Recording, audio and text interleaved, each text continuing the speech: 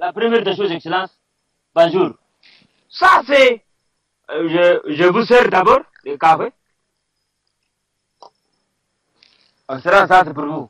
L'art est en hausse en ce fin de mois de novembre. Grâce à leur génie créateur, les artistes tchadiens ont fait flotter le tricolore sur le toit du continent. Les exploits viennent de cinq artistes venus du pays de Toumaï.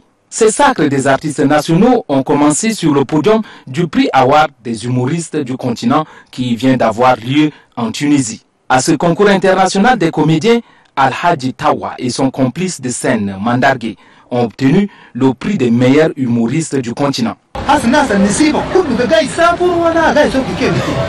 Non, Mandargue, tu vois, tous ces gens, ben, c'est pour se divertir, tu vois quoi.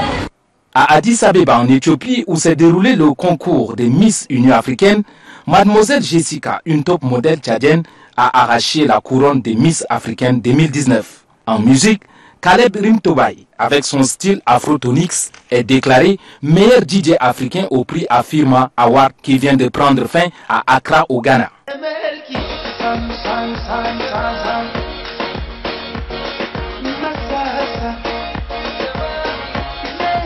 En plus de ces succès retentissants réalisés par les artistes nationaux, vient s'ajouter le trophée dit de la jeunesse africaine.